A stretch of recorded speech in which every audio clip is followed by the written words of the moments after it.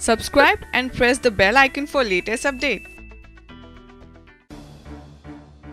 गुजरात चुनाव के नज़दीक आते ही सभी दल एक दूसरे पर हमला बोल रहे हैं मंगलवार को कांग्रेस नेता पी चिदम्बरम ने प्रधानमंत्री नरेंद्र मोदी पर निशाना साधते हुए कहा कि गुजरात में होने वाला चुनाव किसी व्यक्ति विशेष या फिर मोदी को लेकर नहीं, बल्कि उनके अच्छे दिन के उन वायदों को लेकर है, जो उन्होंने प्रधानमंत्री बनने से पहले भारत की जनता से किया था।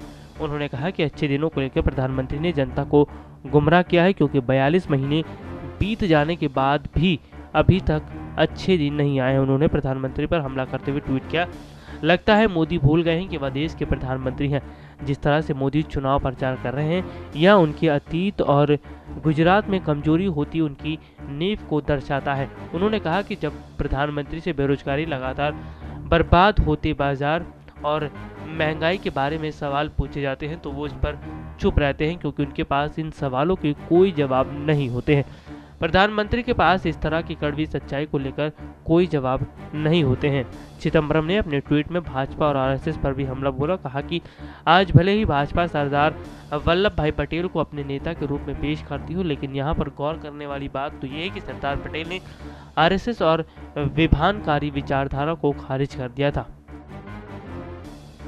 एस पी न्यूज़ रूम से राहुल की रिपोर्ट।